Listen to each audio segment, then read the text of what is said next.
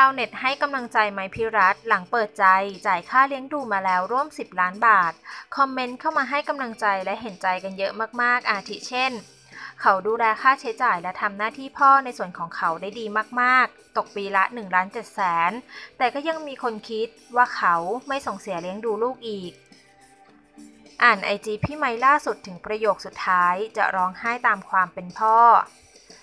ค่าใช้จ่ายที่ไมพิรัตส่งเสียเลี้ยงดูลูกชาย ดูแลตั้งแต่น้องเกิด ดูแลรวมถึงตัวคุณแม่ด้วย หน้าที่พ่อไม่มีบกพร่องเลยนะ ถึงคุณแม่จะเลี้ยงเดี่ยว แต่คุณพ่อจ่ายให้หมดทุกบาทเลย ความเห็นส่วนตัวนะคะ ถ้าอ่านดีๆ จนจบจะรู้ว่า เขาแค่ขอสิทธิ์ในการเลี้ยงดูเฉยๆ ไม่ได้จะแย่งลูกไป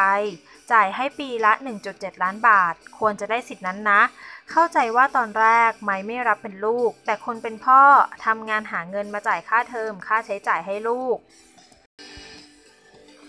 ไม่ได้เจอลูกทำได้แต่ตัดต่อภาพลูกตัวเองใส่ลงไป โอ้โห สงสาร บินกลับมาไทย เพื่อจะมาหาลูกมาทำบุญวันเกิดด้วยกัน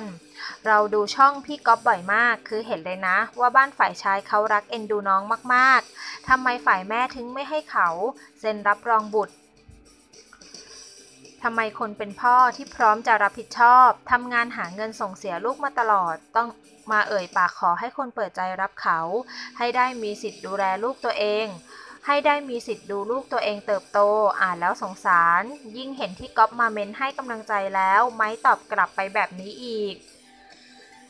ขอให้น้องได้รับผลประโยชน์ในสิ่งที่น้องควรรับเองให้ได้มากที่สุด ไม่พูดถึงพ่อถึงแม่เขาหรอกนะ อย่างน้อยมีสะอึกหลายคนอยู่